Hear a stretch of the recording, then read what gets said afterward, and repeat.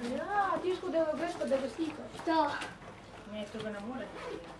Jelo, ja, kje sem en prečiš pučarje v ekranski dvoriški. Mhm. No, gremo.